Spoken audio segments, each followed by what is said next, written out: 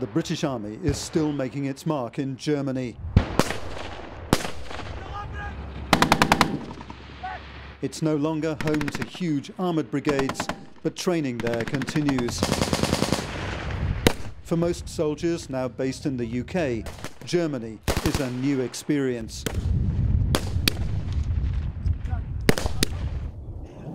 A German Air Force Tornado swoops low over the Sennelager Ranges.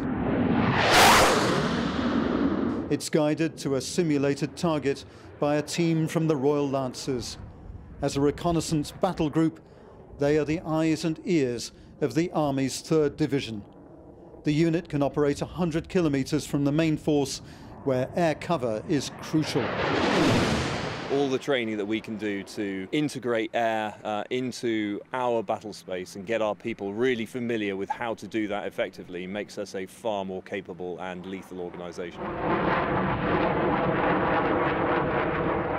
Germany has given the Royal Lancers a rare chance to train across 5,000 square kilometres, all done by merging Sennelager's training ranges and its computer simulation facilities then putting scimitar armoured reconnaissance vehicles onto public roads and moving them nearly 70 miles to operate on privately owned land, something that has rarely happened in Germany in the past 20 years. One of the reasons why it's so much easier to do here is because they don't have hedges. If you're in a field in the UK, you're in that field and it's pretty hard to get in or out of it. If you're in a field in Germany, uh, you can broadly speaking just get onto a track and move on to the next one you're actually going through really tight ground in these woods and villages, which is the sort of thing you might well have to do if you were fighting a real war. The Royal Lancers' next assignments are expected to be in Ukraine and in Poland.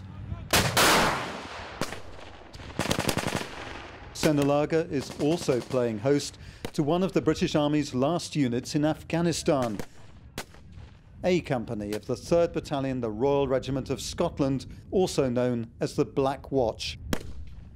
They see Germany as a new place to refresh and update warfighting skills. That's my first time. Um, it's a good experience coming here as well. So a lot of the boys have never been here before, so it's a good experience. Many of the soldiers, they haven't been to either Germany before or specifically the training areas. They have spent lots of time in Otterburn, um, or in other training areas in the UK. So this provides us with somewhere novel, challenging and exciting for them to train. It's not like smaller areas in some of the places we have in the UK where you might come here once or twice and then be going over the same ground. You can come here continuously and still be putting your soldiers through new terrain, new challenges. As British Army training in Germany intensifies, the Sennelager diary is filling up. Next to train here, the headquarters of NATO's Allied Rapid Reaction Corps, the ARRC. Rob Olver, Forces News, Sennelager in Germany. If you enjoyed this video, don't forget to like and subscribe to our channel.